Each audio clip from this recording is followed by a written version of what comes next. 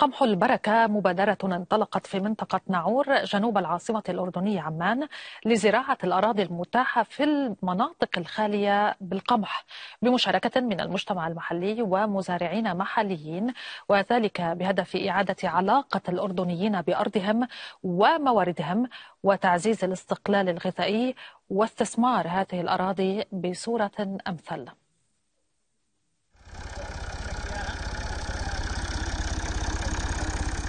تعود بهم عجلة الزمن إلى الوراء يعيشون الحاضر بذكريات الماضي. هي الأرض ذاتها لكن الزمن تغير. محمد وربيع وأبو فهد أحيوا سننا غابت تحت وطأة المدنية في منطقة ناعور جنوبي العاصمة. عادوا إلى مناجل قمحهم في مبادرة لاستثمار الأراضي الصالحة للزراعة. قبل كانوا الناس مكتفين ذاتيا. يعني تلقى عنده المونة من قمح من حمص من عدس من جريشة من من من كذا. كل هذا من تعبهم من تعب ايديهم وبالتالي كانت علاقته مع الأرض علاقة تبادل اتعب علي عشان أنا أعطيك. وفي إنتاج وقبل ما كان في حدا قاعد عن الشغل لأنه الكل يشتغل وينتج. ينثرون البذار في سهولهم. زراعة القمح وحصاده من أرض بلادهم. تحرر غذائي يسعى ويهدف إلى التوعية بأهمية الأمن الغذائي. سيادة الغذاء لما أكون أنا مسيطر على غذائي أنا صاحب القرار في غذائي أنا اللي بزرعه أنا اللي بحصده بالطريقة اللي, اللي أنا بدي إياها. هلا الأمن الغذائي أنت ممكن تستورد كل غذائك من الخارج ويكون عندك أمن غذائي لمدة سنة وسنتين. أما في أي ظرف ممكن أنت تخسر هذا الغذاء. أما لما يكون عندك سيادة أنت مسيطر على هذا الغذاء. وهذا هو المشروع اللي هو بيحكي على السيادة على الغذاء. المبادرة تؤكد أهمية ارتباط الأرض بأصحابها. فكلما منحتها عناية أعطتك غلالا وفيرة على حد قولهم. المبادرة تمكنت في خطوة أولى من زراعة عشر قطع بمساحة 110 دنومات. في مناطق متفرقة على أن يتم التوسع بها لاحقا. يطلع إن شاء الله بإذن الله. زرع القمح هنا. أيام قليلة ويبدأ الإنبات.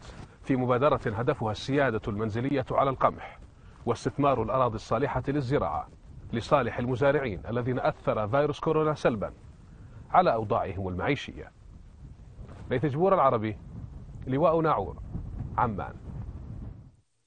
ونرحب معنا من عمان بسيد ربيع زريقات وهو صاحب مبادرة قمح البركة لإعادة إحياء الطرق التقليدية في زراعة القمح. أهلا وسهلا بك معنا. ربيع هذه المبادرة يبدو أنها بدأت قبل عام فكيف تحصدون ثمارها اليوم؟ طبعا زي ما حكيت هي بدأت العام الماضي. إحنا نظامها المشروع هو اشتراكات العائلات أهالي المدينة إحنا عم نوفر مساحات وأراضي داخل المدينة للناس تزرع وتحصد ويصير عندها اكتفائها الذاتي من القمح في منازلها. ويتعلموا يستخدموا الغذاء اللي هم بيزرعوه ليحققوا السياده المنزلية على الغذاء. السنة الماضية شارك معنا 60 عائلة. السنة هاي 120 عائلة تضاعف العدد وشارك معنا جديد انضم لنا أربع مدارس. وشركة موظفين شركة. فالأمور بدأت يعني تتوسع.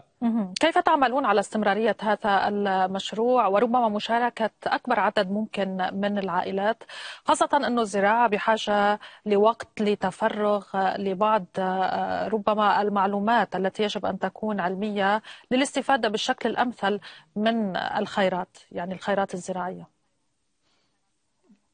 هلا اللي بيميز زراعة القمح إنها زراعة سهلة مقارنة بالزراعات الأخرى. يعني الواحد بنثر بذار القمح وبستنى بركة رب العالمين. يعني نستنى الأمطار لأنها زراعة بعلية تتكل على الأمطار. وشهر ستة الحصاد فهي فعليا ما بدها تفرغ كثير. يعني كلها يمكن سبع أو خمس أيام عمل في ست أشهر.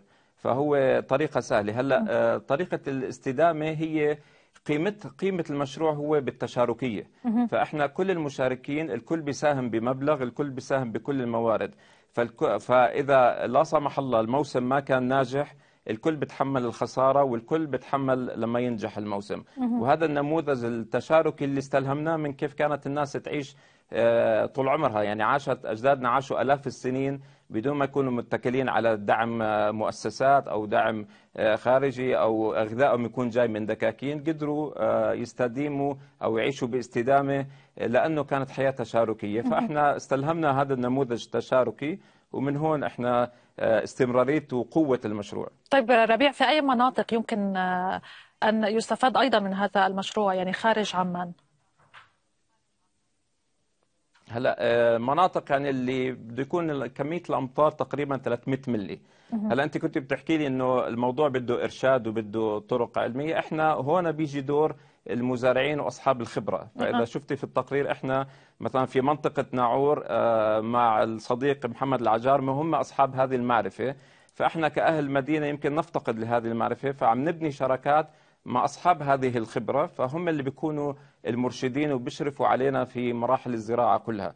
بهذه الطريقة. فهي زي ما قلت لك القمح بدها بس كمية أمطار محددة أقل شيء 300 ملي ملي هو تعاون تشاركي. أشكرك جزيل الشكر ونتمنى لكم كل التوفيق والاستمرارية من عمان ربيع زريقات صاحب مبادرة قمح البركة.